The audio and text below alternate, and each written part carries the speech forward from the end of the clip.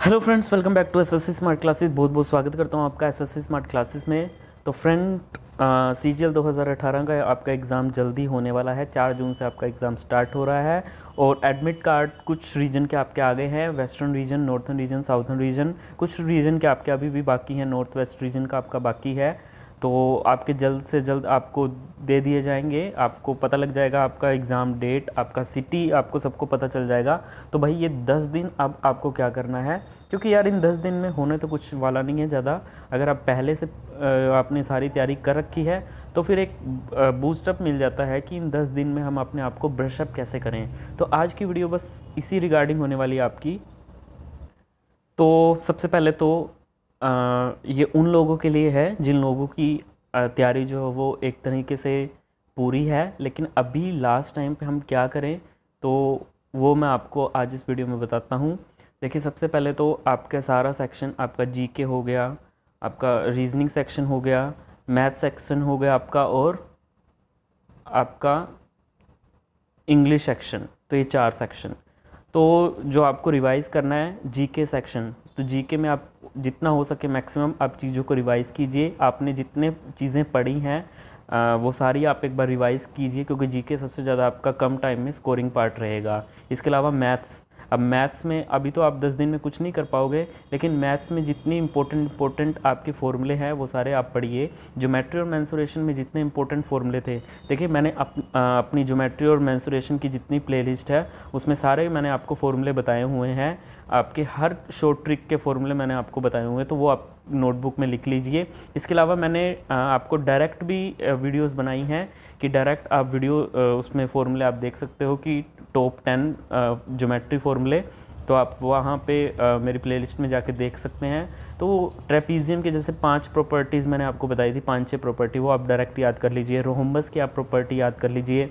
इसके अलावा effective discount जो होता है इफ़ेक्टिव परसेंट वो बहुत इंपॉर्टेंट होता है। तो इफ़ेक्टिव परसेंट आप सभी को पता है इफ़ेक्टिव परसेंट किस तरीके से निकालते हैं। जैसे आपका एक नंबर है एक्स इसका इफ़ेक्टिव परसेंट आपको निकालना है। तो x plus x plus two x into x by hundred तो ये आपका फॉर्मूला रहता है दो क्वांटिटीज़ का ए और बी इफ़ेक्टिव परसेंट जो है वो आपका तब लगता है जब आपकी दो क्वांटिटी एक क्वांटिटी में चेंज करके अगर उस क्वांटिटी को आप डबल कर दो, उस मतलब दो के इफ़ेक्ट से एक एक क्वांटिटी और एक दूसरी क्वांटिटी मिलके, दो क्वांटिटी मिलके एक कंबाइंड इफ़ेक्ट को जब वो करें चेंज करें। जैसे फॉर एग्जांपल मैं आपको बताऊँ जैसे आपकी रेडियस चेंज कर दिया आपने तो आपको बताना है कि कितने परसेंट एरिया चेंज हुआ होगा। अब एरिया का आपको पता है पाई आर स्क्वेयर होता है। यानी कि रेडियस जो है वो दो बार आ गया। यानी दो बार रेडियस को चेंज करके आप इफ़ेक्टिव परसेंट का कॉन्सेप्ट लगा सकते हो।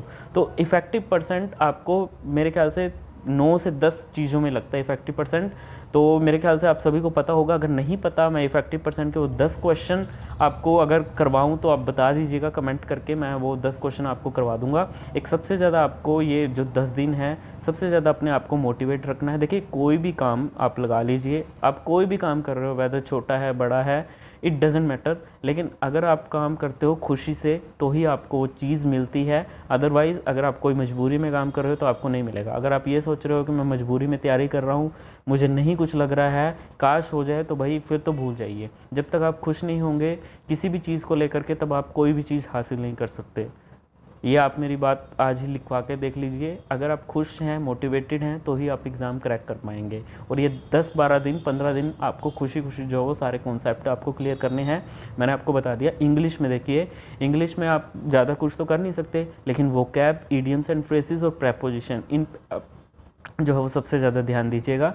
आपको प्रोपोजेश प्रोपोजिशन आपको प्रपोजिशन होगी, एक आपकी वो कैब होगी, इन पे सबसे ज़्यादा आपको ध्यान देना है। और एक मैथ्स में मैंने आपको बताया, जितने भी आपके फॉर्मूले हैं, उन पे ध्यान देना है।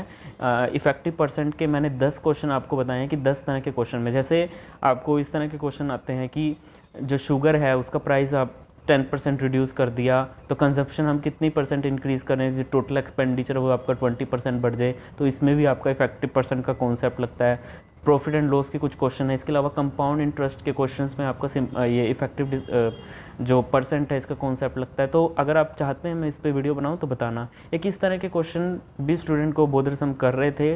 कि जो आपका परफेक्ट स्क्वायर है, एक नंबर परफेक्ट स्क्वायर कैसे हम देख पाएँगे? तो इस पर भी मैंने एक ऑलरेडी आपके लिए वीडियो बनाई हुई है। जिसे नहीं देखी तो कमेंट करिएगा, मैं उनको बताऊँगा कि कहाँ पर है वो वीडियो जो आपका डिजिटल सम है, वो आपका कितना होना चाहिए? ज़ीरो वन टू फोर और सेवन ये डिजिटल सम अगर आपका आ गया तो वो नंबर ऑलवेज आपका परफेक्ट स्क्वेयर होता है। कई बार क्या होता है, आपकी दो तीन ऑप्शन ऐसे आ जाते हैं, जिसमें ये आपके सारे ऑप्शन मैच करते हैं। तो उसके बाद फिर मैंने एक और एलिमिनेशन आपको मेथड बताया था। एलिमिनेशन मेथड बताया था कि आप क्या करिए, वो जो नंबर आपको ऑप्शंस में दिया होगा, उसको ऐड या सब्ट्रैक्ट जो भी आपको करना होता है तो उसमें आप क्या करिए, वो जो ऐड या सब्ट्रैक्ट करके जो आपका नंबर बना होगा, उसकी सेकंड लास्ट डिजिट आप देखिए। अगर वो सेकंड लास्ट डिजिट आपकी ओड है तो आप बिना देखे उसको क्या कर दीजिए कि ये नॉन परफेक्ट परफेक्ट स्क्वायर है। अगर वो इवन है तो हम कह नहीं सकते तो हमें फिर से चेक करना पड़ेगा। या फिर एक और तीसरा तरीका मैंने आपको बताया था कि एक से चौबीस का जब आप स्क्वायर करोगे, एक से चौबीस तक के तो उनके स्क्वायर करने के बाद जो लास्ट टू डिजिट होगी, वो जितने भी आज तक के आपके जितने भी नंबर्स हैं, उन सबका स्क्वायर करने के बाद लास्ट टू डिजिट वही रहती हैं, जो एक से चौबीस तक की रहती हैं। तो ये भी आप चेक कर सकते हो और एक से चौबीस तक का, एक से थर्टी तक का बल्कि आपको स्क्वायर पता होना चाहिए। तो एक से थर्टी तक के स्क्वायर रूट जो है वो आप सॉरी स्क्वायर्स जो है वो आप रट लीजिए एक से थर्टी के क्यूब आप बीस तक रट लीजिए, आपके क्यूब आपको पता होना चाहिए, या फिर एट द मोस्ट आपको पंद्रह तक तो क्यूब आपको पता होने चाहिए। तो ये आपको इतना करना है। इसके अलावा स्टूडेंट पूछ रहे थे कि सीपीओ का भी, भाई देखिए आपके पास ये अच्छी अपॉर्चुनिटी है, जो आपका सीपीओ का जो है अभी सारे अपलोड हो गए हैं, आप क्यू मैथ्स की साइट पर जा कर के ये सीपीओ के जितने पेपर हैं, आपके 11 सेट हैं तो 11 के 11 सेट आपको सोल्व करने हैं। मैथ्स का लेवल बिल्कुल वैसा ही आएगा, इससे ज़्यादा ऊपर नीचे नहीं होने वाला। ठीक है? और इसके अलावा मैंने एक चीज़ और नोट की है। आपका सबसे पहला जो टीसीएस ने एग्ज़ाम कंडक्ट करवाया था, जो सबसे स्टार्टिंग का था, वो ये फ़ेज़ सिक्स के आपके एग्जामिनेशन थे। वो अलग अलग लेवल पे थे, आपका टेंथ लेवल का था, ट्वेल्थ लेवल का था, ग्रेजुएशन लेवल का था। तो उसमें एक चीज़ देखी गई थी कि थोड़ा सा बैंकिंग पैटर्न फॉलो किया जा रहा था। फिर इसके बाद आपके दूसरे और एग्ज़ाम हुए, आपका जी कांस्टेबल हुआ तो बैंकिंग पैटर्न और कम हो गया। इसके अलावा फिर आपका सीपीओ आप खुद ही डाउनलोड करके देख सकते हैं क्यू मैथ्स की साइट पर, जो आपका सीपीओ का दिया हुआ है, उसमें और ज़्यादा बैंकिंग पैटर्न कम कर दिया है। और ये जो सीजीएल का है, ये बिल्कुल आप यकीन मानिए, इसमें बहुत ऐसे कम चांसेस हैं आपके मतलब सिर्फ़ पाँच परसेंट चांसेस हैं कि आपका बैंकिंग जैसा थोड़ा बहुत देखने को मिले। अदरवाइज़ पूरा का पूरा आपका जैसे सीपी जब वेंडर होता था तो वो कंडक्ट करवाता था, आपका एग्ज़ाम तो बिल्कुल वैसा ही पैटर्न रहेगा। जी के जी का मैंने आपको बता दिया। और इसके अलावा करंट अफेयर्स देखिए करंट अफेयर में अभी ज़्यादा कुछ तो आप पढ़ नहीं सकते हो दस पंद्रह दिन में। तो आपको करना क्या है, आप यूट्यूब पर सर्च मारिए। आप ज़्यादातर बस आपको ज़्यादा कुछ नहीं, आपको चार महीने की जो है वो करंट अफेयर्स पढ़नी है, फरवरी, मार्च, अप्रैल और मई। और इनमें आपको करना क्या है इनमें भी कितनी सारी वो बन जाती हैं तो आपको मेन मेन से एक सर्च मारिएगा कि डेढ़ सौ क्वेश्चन की एक शॉर्ट जो है ना पीडीएफ मैंने एक शेयर भी की थी फरवरी मंथ की, वो आप चैनल पे जाके देख सकते हैं मेरे, या फिर डिस्क्रिप्शन में लिंक दे दूँगा मैं। तो उसमें इस तरह से आपको 120 क्वेश्चन 120 क्वेश्चन 120 क्वेश्चन इसके हो गए। तो इस तरह से चार महीने के हिसाब से आपके लगभग 500 से 600 क्वेश्चन बनेंगे। इतना कर लीजिए, फ़िलहाल तो उतना बहुत है।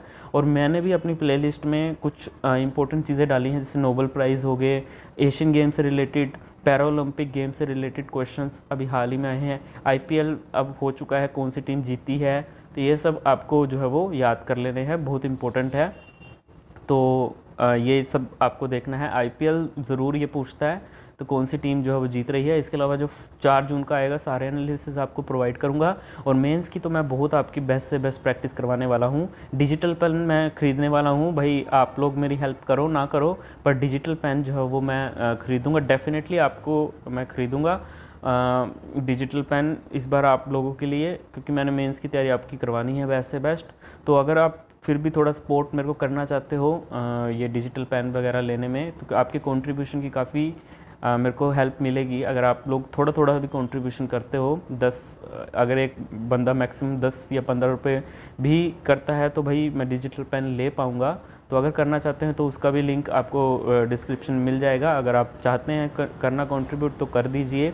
तो मैं जल्द से जल्द आपके लिए फिर वीडियो बनाया करूँगा और एनालिसिस आपको प्रोवाइड किया करूँगा, क्योंकि मेरा काम काफ़ी आसान हो जाता है। सी पी के पेपर्स भी हैं मैं सारे के सारे सोल्व करवा देता, लेकिन इतने क्वेश्चन हैं, वो फिफ्टी क्वेश्चन हैं तो मैं फिर उसको कॉपी पे लिख नहीं सकता तो वो डिजिटल पेन की तो ज़रूरत पड़नी ही पड़नी है। तो ये आपकी कुछ इम्पोर्टेंट आपकी स्ट्रेटजी थी। लंबी लंबी वीडियोस अब मत देखिएगा, कोई टॉपिक पे ऐसा नहीं है कि पूरा स्टक होकर बैठ जाइएगा। अब यूट्यूब भूल जाइए आप अभी आपने जितना पढ़ा है वो उतना करिए। सारे कंसेप्ट आपके रिवाइज कीजिए जीके पे ज़्यादा फोकस कीजिए वो कैप पे ज़्यादा फोकस कीजिए मैथमेटिक्स के आप फॉर्मूले कीजिए सीपीओ के जितने क्वेश्चन है वो कीजिए। तो वीडियो अच्छी लगी हो तो लाइक कीजिएगा और चैनल को सब्सक्राइब करना मत भूलना और जितनी भी और ये जो लोग कट ऑफ़ वगैरह देखना चाहते हैं तो सारा डिस्क्रिप्शन में आपको लिंक मिल जाएगा। आप ज़रूर देखिएगा। हर चीज़ पॉसिबल है। बस आपको मोटिवेट रहना है. Only I can change my life no one can do it for me ये याद रखिएगा. एक बार हासिल कर ली चीज़ तो उसके बाद आपको अपना भविष्य तय करना है. सो मोटिवेटेड रहिए, पढ़ते रहिए, ख्याल रखिए. हमेशा आपके साथ बना रहूँगा. लाइक और सब्सक्राइब ज़रूर करना. बहुत अच्छा लगता है. धन्यवाद.